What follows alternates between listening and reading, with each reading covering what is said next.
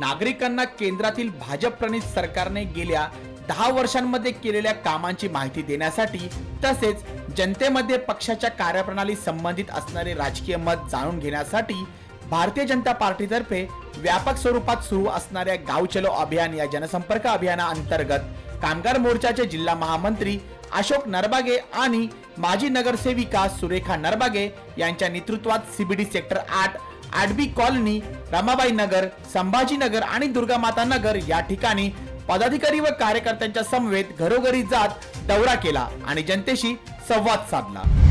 गाव चलो अभियान आज राबवण्यात आलेले आहे.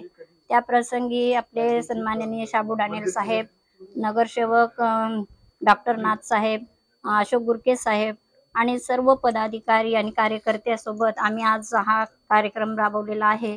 प्रत्येक घरोघरी जाऊन ज्येष्ठांचा सत्कार असेल.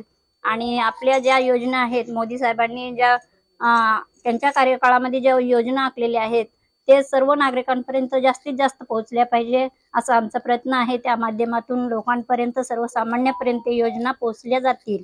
म्हणून आज आम्ही सर्व ठिकाणी आपल्या प्रभागात प्रभाग क्रमांक एकशे तीन मध्ये फिरत आहोत.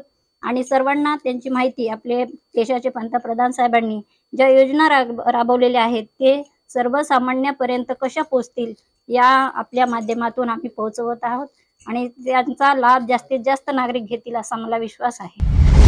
हर घर अभियान आपले मोदी साहेबाचा जे नऊ वर्षात जे कामं केलेले आहेत हे घरोघर संदेश पोहोचावा ह्या संदर्भात हा घरा घर अभियान कार्यक्रम चालू आहे.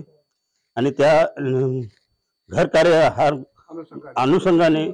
आपले जयाजीनाथ डॉक्टर गुरके साहेब शा- शाबू डानिल साहेब हे सर्व आणि आपले सर्व कार्यकर्ते हे सर्व ह्या कार्यक्रमात उपस्थित आहेत.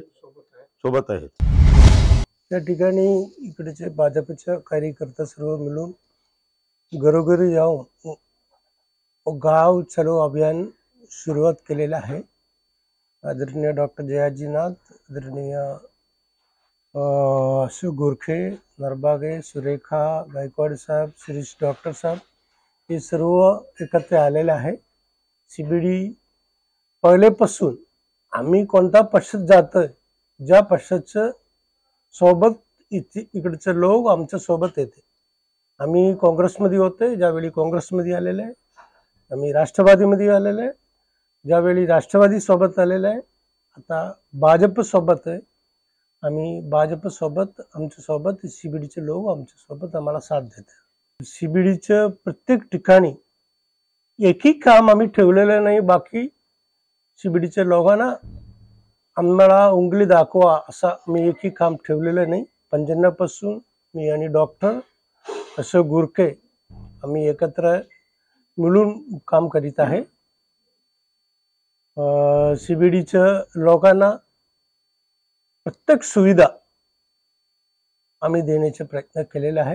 नक्कीच पुढच्या इलेक्शनमध्ये सुद्धा सी बी डी विभागातून भारतीय जनता पक्षाला अस्सी टक्का मतदान भेटेल.